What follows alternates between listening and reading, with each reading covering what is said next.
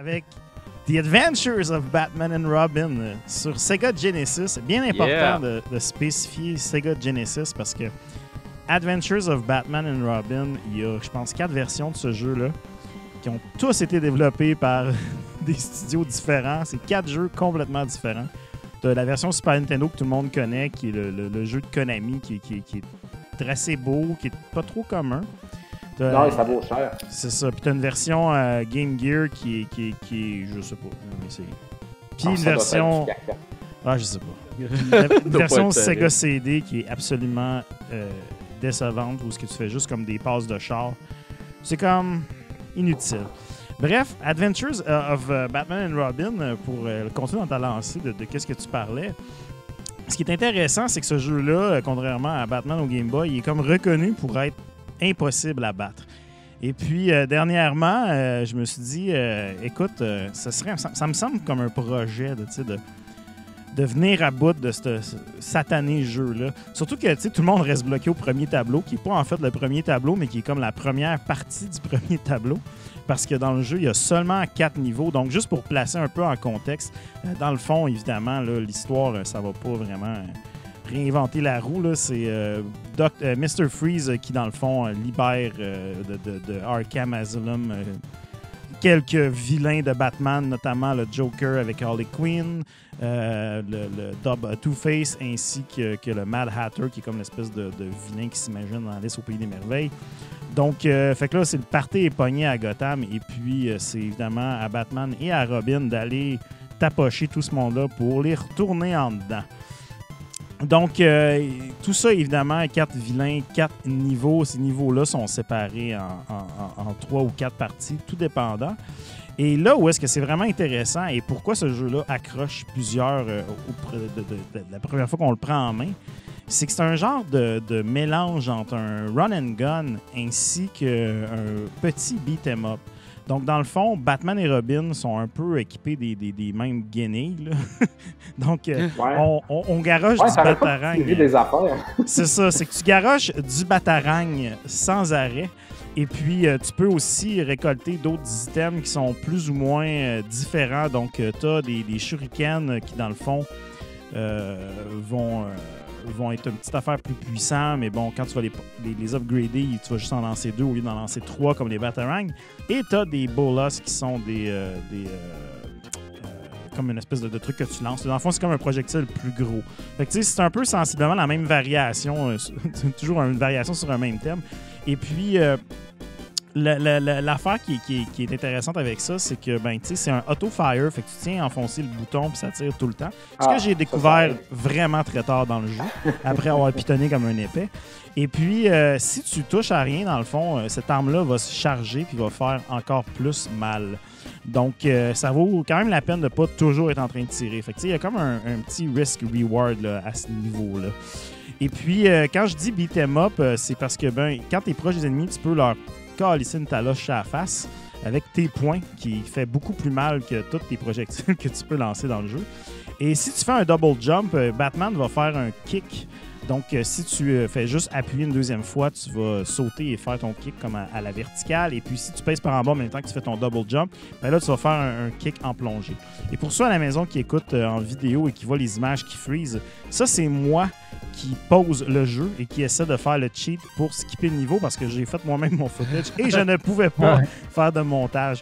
Donc, euh, c'est pour ça que ça freeze de temps en temps. J'essaie de montrer un peu la variété parce que c'est un jeu qu'on ne voit pas souvent plus loin que les premiers écrans parce qu'il est quand même assez difficile, ma foi. Il est tellement beau, par exemple. là, C'est incroyable. C'est vraiment Ouais. un, un jeu magnifique. Euh, je, Ah. je vais y revenir un peu peut-être sur l'historique. Mais côté Ouais. difficulté, c'est vraiment difficile. Donc, encore une fois, là, je parlais de beat'em up, mais un peu comme dans un beat'em up, dans les niveaux, euh, on avance dans les niveaux, puis là, des fois, on va arrêter comme dans un, une espèce de, de bloc, de, de- ben, un camera block, dans le fond, qu'on appelle là, souvent dans le jargon du métier. Mais dans le fond, on va arrêter comme dans une arène, si on veut, puis là, il y a des ennemis qui vont arriver de tous bords, tous côtés, puis ils vont nous attaquer. Donc là, on, on fait une espèce de séquence qu'on doit évidemment battre tout le monde pour avancer et tout. Et puis, les niveaux, la complexité de base est pas trop avancée, mais le nombre d'ennemis qu'on garoche est vraiment assez élevé.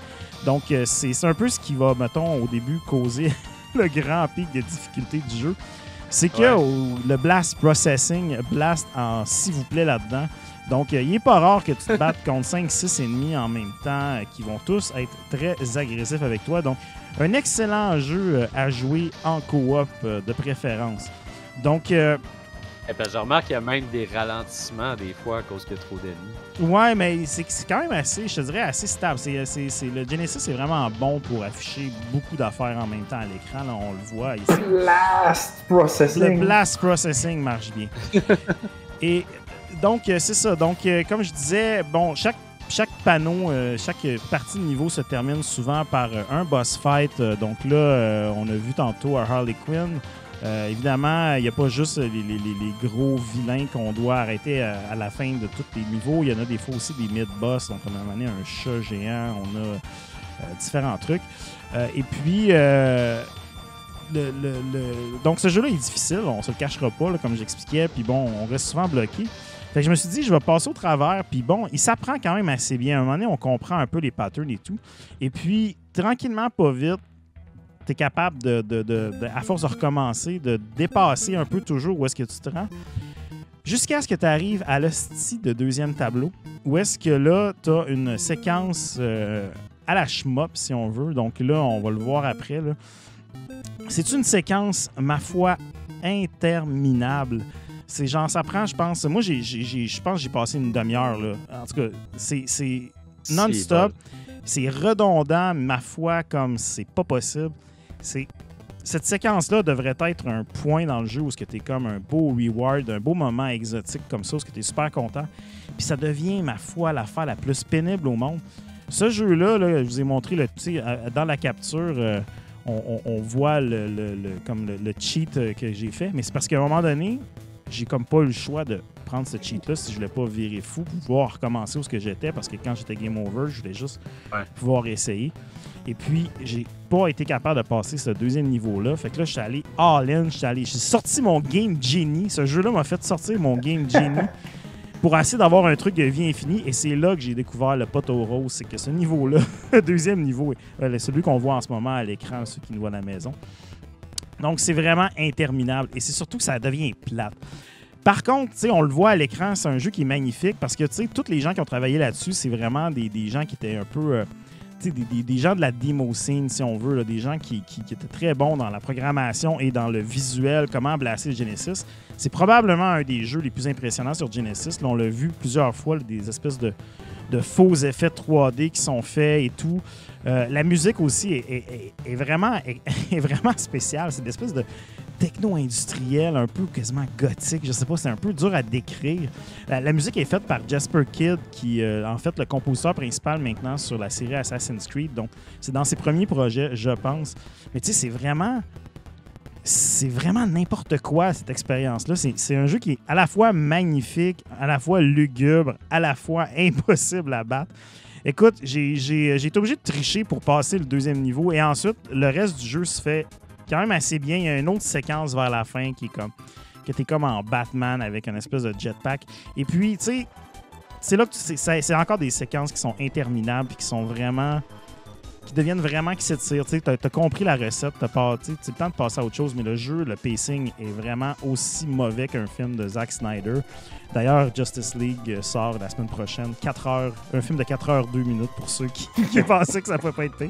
Bref, 4 heures, mais il est supposé sortir en 4 épisodes. non, il sort pas en épisode finalement, il va sortir direct en 4 Ah, c'est heures. ça qui Pour vrai? manquait. Là, Fait c'était que- plus de temps. Exactement, c'est ça Oh qui my manquait. God. Donc, euh, bref, euh, Batman, Adventures of Batman and Robin, euh, un jeu qui, qui- est impressionnant, qui, je pense qu'il y a une place dans la collection. là. Je pense que c'est un, un jeu que, quand les moments, les moments bien faits sont, sont, sont là, c'est un jeu qui est très plaisant. Mais c'est un jeu malheureusement que, que- comme c'est un cadeau empoisonné. C'est c'est comme un gâteau que tu manges puis que genre il y a comme une roche au milieu.